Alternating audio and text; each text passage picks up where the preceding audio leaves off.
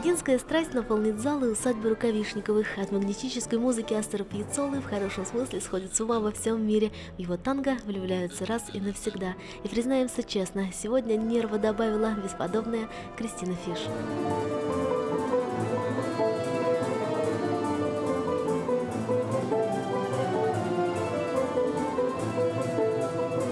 Для меня это страсть, это танец, это наваждение, это сногсшибательные гармонии, ритм, это все.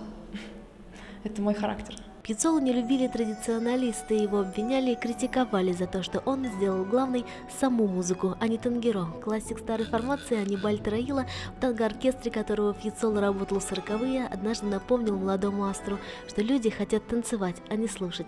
Теперь даже спорить нет смысла. Мэтр был неправ великий Астор Пьяцолло вывел танго на концертную эстраду.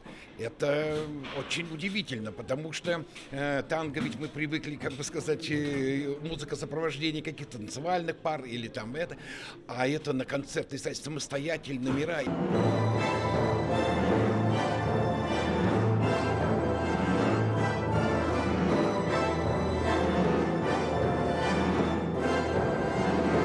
Если стороннему человеку сказать, что танго будет исполнять на балалайках, он улыбнется и скажет, что не могут эти инструменты передать чувственность и взрывной темперамент этой музыки, пока не услышит исполнение вживую. Какая уж там калинка-малинка. Были в Италии, были в Испании, и всегда э, в Германии, и всегда воспринималось э, удивительное удивление от того, как это можно на таких инструментах так красиво играть. А в зале ни одного свободного места. Здесь, в усадьбе Рукавишниковых, одна особенность. Зрители очень близко от музыкантов. Солист Никита Власов говорит, это совсем непросто – играть глаза в глаза. Это сложно, потому что ты э, слегка боишься поднять глаз на них, а то вдруг что-то что не то, понимаешь?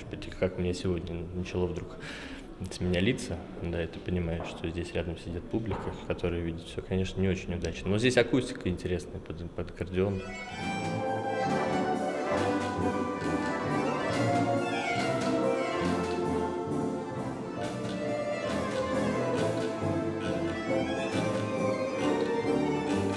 А сама танго, зародившись в борделях Буэнос-Айреса, прошло фееричный путь от постыдного и запретного танца до обожаемого в самом высшем обществе. Но сегодня хотелось не танцевать, а перестрадать эти пронзительные мелодии вместе с домрой, балалайкой и аккордеоном. Ксения Дольнова, Михаил Городников, Объективно, ННТВ.